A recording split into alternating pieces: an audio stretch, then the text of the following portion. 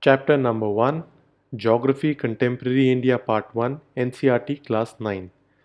So, this is the introduction which says that India has progressed in the fields of agriculture, industry, technology, etc. And when we talk about the location, India is a vast country lying entirely in the northern hemisphere. So, this is important that it lies entirely in the northern hemisphere.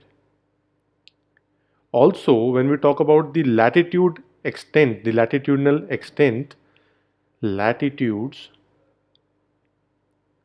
since it is in the northern part, so the latitudes extend from 8 degrees 4 minutes north to 37 degrees 6 minutes north. So as you can see north and north, so it is entirely in the northern hemisphere. Next we need to look at the longitudes. Longitudes. So when we talk about the longitudes, the extent, the longitudinal extent of India is 68 degrees 7 minutes east to 97 degrees 25 minutes east. Alright, so we've seen the latitudes and the longitudes.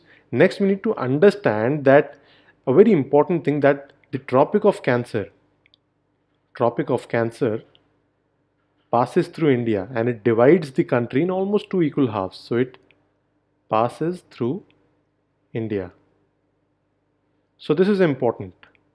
All right. So uh, as you know that Tropic of Cancer is 23 degrees 30 minutes north of latitude. So let's locate this in the political and physical map so that we have a better understanding of what we are talking about. Alright, so these are the maps of India. Some important things that we need to note here are that the latitudinal extent from west to east is 2933 kilometers. So from west to east it is 2933 kilometers. From north to south, Kashmir to Kanyakumari, it is 3214 kilometers. 3214 kilometers. Other things that we need to note here is that the Tropic of Cancer passes through India and it divides the country in almost two equal parts.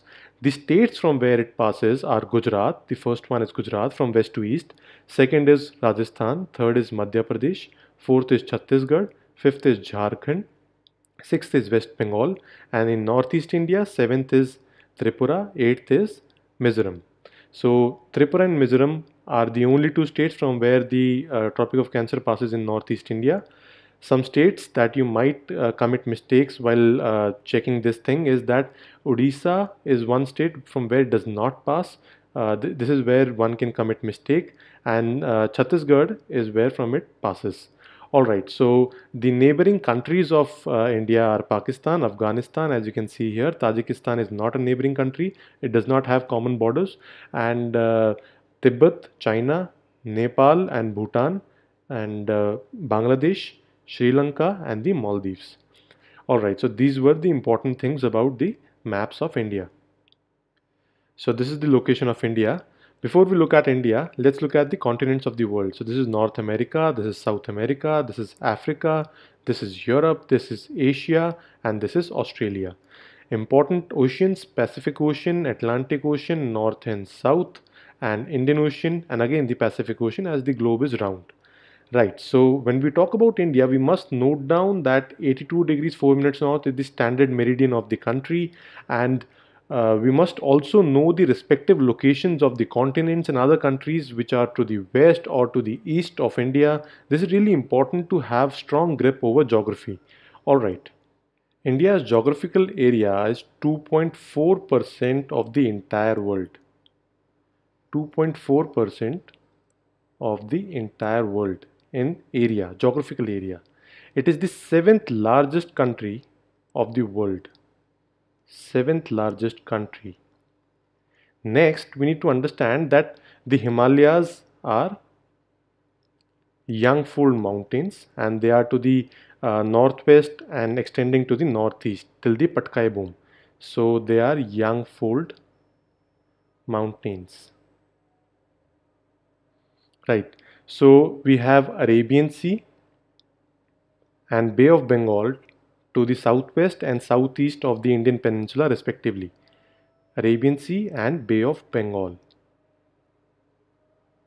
Right. So next we need to understand that since there's uh, there's a huge uh, longitudinal extent of India starting from Gujarat to Arunachal Pradesh.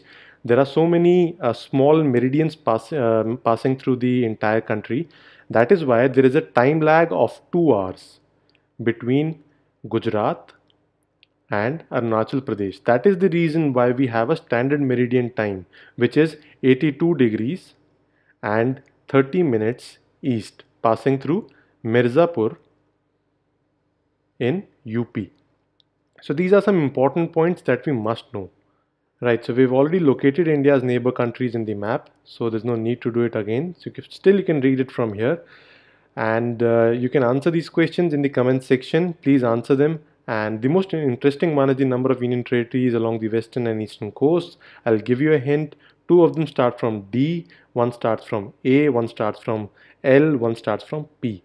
Right, so write it down in the comment section and this was the chapter 1 for NCERT class 9. So this is it for this video. The PDF notes for this video are available on the Civil Coursify Android app for free. Subscribe to our YouTube channel, download the Civil Coursify Android app and follow us on Facebook and Telegram. Links are available in the description as well as comment section. Till then, thank you and take care.